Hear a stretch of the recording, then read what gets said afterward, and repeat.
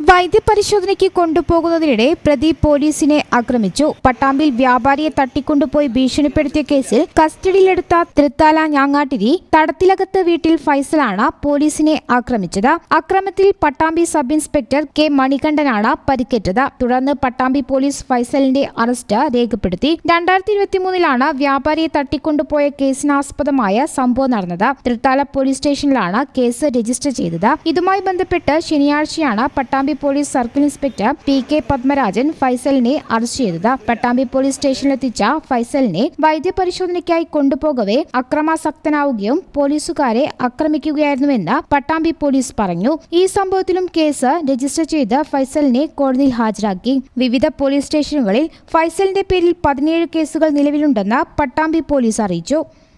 ഈ channel news Pattambi. ഞങ്ങളെപ്പറ്റി നിങ്ങൾക്കല്ലേ കൂടുതൽ അറിയുന്നത്? പരിശുദ്ധിയുടെ സുവർണ പാരമ്പര്യം ഹയാത് ഗോൾഡൻ ഡയമണ്ട്സ് വളാഞ്ചേരി.